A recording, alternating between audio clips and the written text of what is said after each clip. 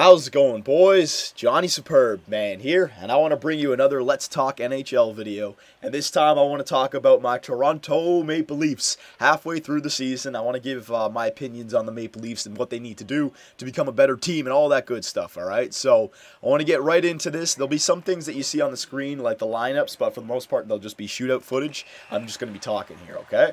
So, first, we'll start in the back end, the goaltender situation. Um, I think if you compare our goaltender situation to last year, no doubt we're a better team. Uh, we don't have Reimer and Scrivens this time. Now we got Reiner, uh, Reimer and uh, Jonathan Bernier, who to me has looked really good. Um, there's been points in the seasons where I've honestly thought to myself that he looks like one of the best goalies in the NHL.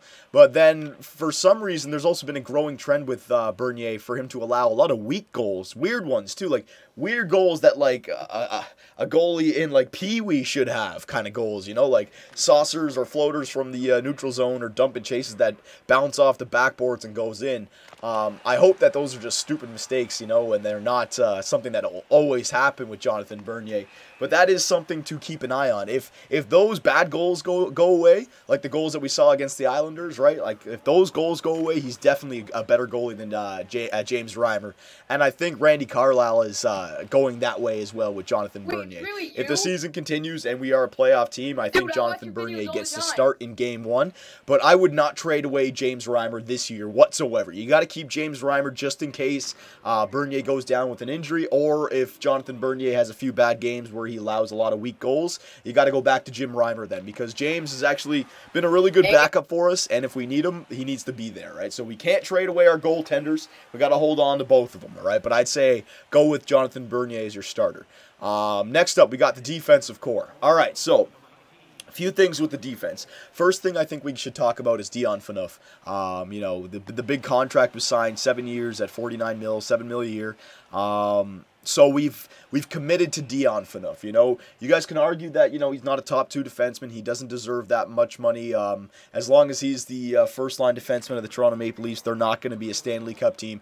You can say all you want about that, but facts are facts. We've committed to Dion Phaneuf. All right, um, we're a better team with Dion Phaneuf in our lineup than without, and that's where it was going, boys. Uh, if you're going to let Dion Phaneuf walk to free agency, another team's going to pay him seven million dollars a year, right? So um, I'm glad that we signed Dion Phaneuf enough rather than just losing him for nothing.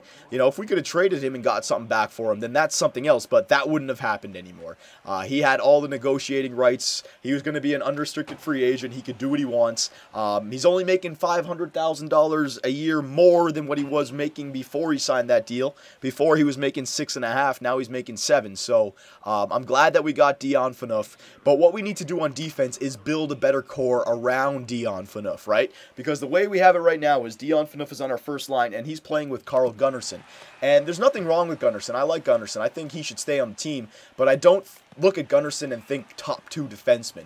And with Dion Phaneuf on the first line, you need to have somebody who really makes him a better player. To me, Dion Phaneuf is not a defenseman who is going to make his team around him like much, much better. He can throw the body, he can log some minutes, he can take uh, time against the other team's best defenseman.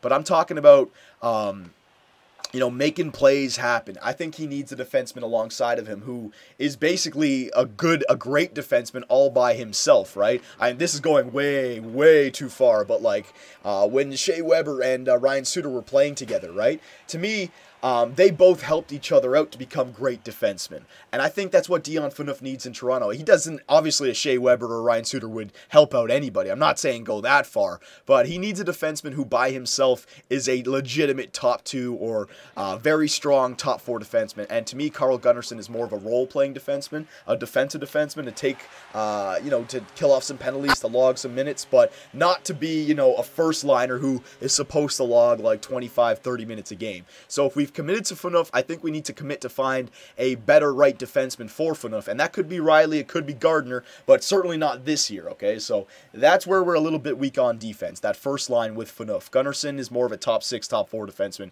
in my opinion. Uh, next on defense, you know, Gardiner and Rielly this year, they're clearly still young and uh, they're obviously going to make mistakes, you know? Um, Are they good enough to be on a Stanley Cup winning team? No. But do you trade them because one day they might be good enough, right? So that's the uh, that's the issue there with defense. Personally, I'd rather hold on to Gardiner and Rielly and trade away a guy like Cody Franson because if you look at Phaneuf, Gardiner, Rielly, and Franson, to me they're all offensive type defensemen. Dion Phaneuf, you know, he's an offensive defenseman. He he's at his best when he's you know going up and down the ice, taking shots, throwing that body. All right, he's he's good when he's um, trying to make something happen. But to me, Gardiner Rielly fall into that category, and so does Cody Franson. The only thing I like about Cody Franson is that the fact that he's right-handed. But uh, to me, you need to replace Cody Franson with more of a defensive defenseman um, who would be better than Carl Gunnarsson, right? Then you could have a nice top four. But um, to me right now with Phaneuf, Gardiner, Rielly, Franson, and Gunnarsson, you know, that's just it's just not good enough in those five defensemen. So I think Franson could be traded, and uh, again, we still need a top two defenseman to play alongside of Dion Phaneuf. Say you had Dion Phaneuf with somebody, uh, you know, I don't know who it is, right? Then that could be your first line. Then you could have like Gardiner and Gunnarsson on the second line, and then you could have Morgan Rielly and uh, Gleason on the third line, and that would look a little bit better. All right, but it all depends on that defenseman that we bring in. But I don't see that happening, so you got to hold on to Gardiner and Rielly, wait for them, and see if you can move Franson because he's an unrestricted free agent this year as well. And uh, I don't want to pay him like four, four and a half, five million that he's going to be wanting in the offseason, right? Uh, so there's our defensive corps. Again, just sum it up quickly. We need to bring in like a top two defenseman, and that's probably not going to happen. All right. Um, offense. All right. So offense, interesting for the Toronto Maple Leafs.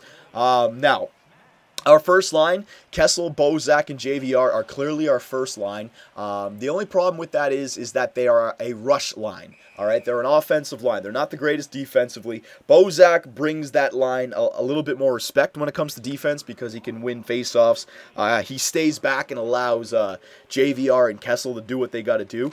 But, um, you know, Kessel, it's always been said he's not the greatest defensive player. He's got better. He's got a little bit better with his back check. But just naturally, uh, Kessel and JVR, they try things that are going to hurt your team. They'll try passes through the middle, uh, rush offense, rush offense. They'll just be waiting up the ice on the boards, not helping out uh, on the defensive side of things, right? And that will naturally hurt your team. Now, I don't have a problem with having a rush line as your first line, but to me, our second line is the line that really hurts the Toronto Maple Leafs, all right? Our second line right now is absolutely in shambles because the second line left wing, Joffrey Lupul. I think Joffrey Lupul is great. I would love if Joffrey Lupul was a little bit younger, and I would put him up on the first line with Bozak and Kessel, and then maybe even trade JVR because to me JVR again is that rush offense. But if Lupul wasn't injury prone, he was a little bit younger. I would rather have Lupul than JVR. Just the way Lupul plays, um, he's definitely he can definitely get points, but because he's on the second line, he's not on the power play as much. All right, they tried it with him at center, but uh, when Bozak came back, you got to have Bozak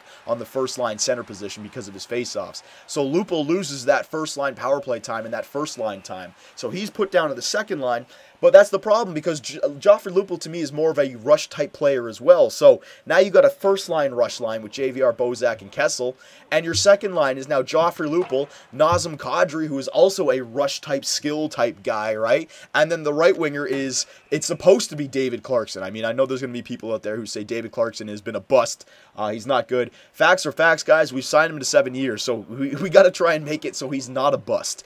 And I think the reason that he's a bust is because he's not a rush type player. He's a offensive zone, gritty type of player, a shooter, a, a, go to the front of the net and tip it in, or um, get in their face type player, right? And for him to um, succeed, you need to have a rush type line. I mean, not a rush type line, a uh, a chip and chase, grindy type line alongside of him. But when you know he's getting paid like a second liner, which means he has to be playing on the second or first line. You can't put him on the third line because that's just a waste of David Clarkson. Then it's a big mistake. You got to put him on the second line, and to do that, to me, you can't have Kadri and I mean, maybe Lupul and Clarkson can get it going, but then you'd really need to replace that second line center. And that to me is why our second line is in shambles. It's it's a mixture between you have a rush guy on the left, you have a gritty guy on the right, and then you have a center who is still the same kind of thing as uh, Gardiner and Morgan Rielly. He'll be good in a few years, but is he good enough to produce right now as a second line center? No. I look at Nazem Kadri, I see a, a third line winger or a third line center, maybe, all right? But uh,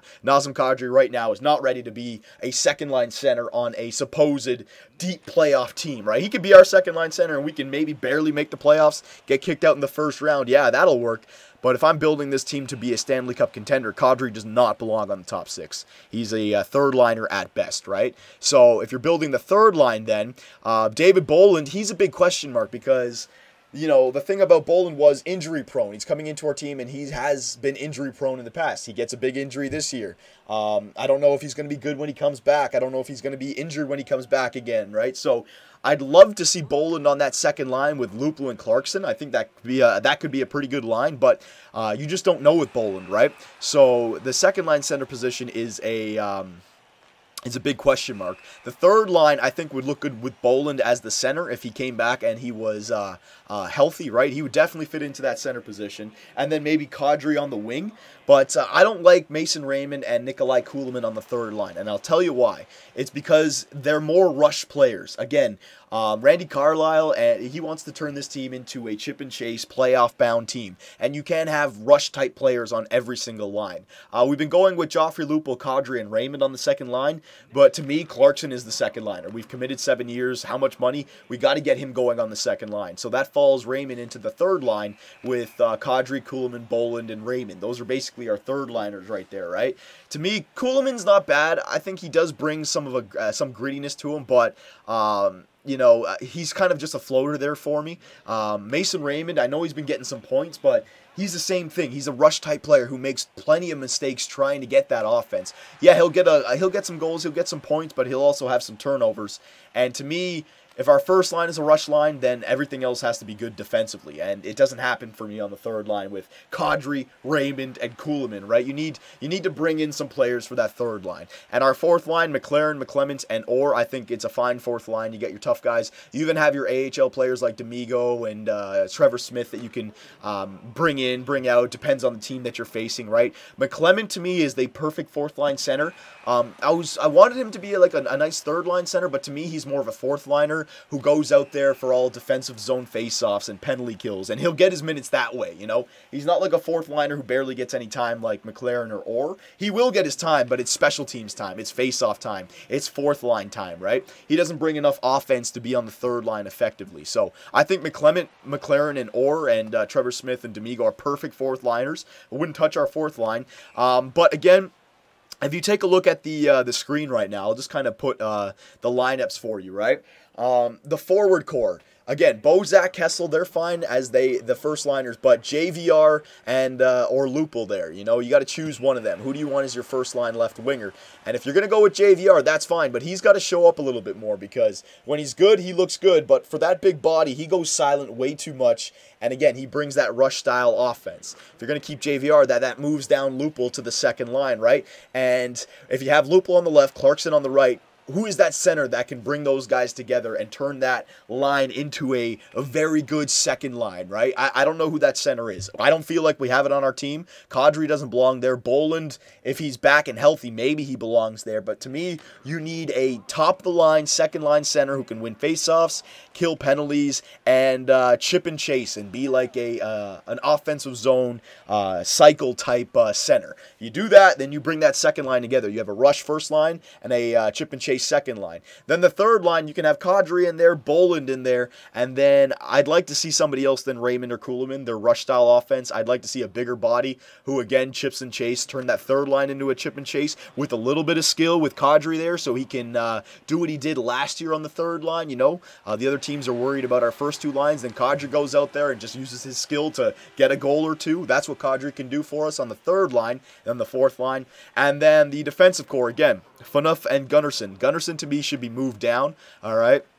Franson could be traded, and we need to get somebody in there to play alongside of Phaneuf. And then you have Gardiner with Gunnarsson and Rielly with Gleason, and I think that's good enough. Is that a Stanley Cup winning team? No, but uh, I think that's what we need to change to improve our team, all right? Just too much ru- rush and too much turnovers in the neutral zone and too much inexperience on the defensive corps, all right? So, I mean, we have some trading assets, but uh, I don't think that it's a possibility to turn this team into a Stanley Cup contender for this year. We can be a playoff team, and we can make you know anything can happen in the playoffs. But to be a legitimate Stanley Cup contender, I don't think that that can happen this year. What we need is we need Kadri to turn into a second line center. We need Clarkson to uh, work himself out, and we really need Gardiner and Rielly to progress into like top two, top four defensemen. That's what we need. All right, so I'm thinking that the best Leaf team is probably two, three years away. All right, because all these players will still be here for another two, three years. But uh, I don't know. I don't know. That second line center position to me is the big one right there. All right. So I don't know. There's my opinion on the Toronto Maple Leafs. Let me know what you guys think about them as well. But uh, hopefully we make the playoffs, right? And once we're in the playoffs, anything can happen. But we got to start to win some games for sure because a lot of teams in the Eastern Conference, it's wide open. We got to make sure that we get these wins nice and early. All right, boys. So there you go. There's my opinions about the Toronto Maple Leafs. Let me know what you guys think, and I will see you guys in the next video.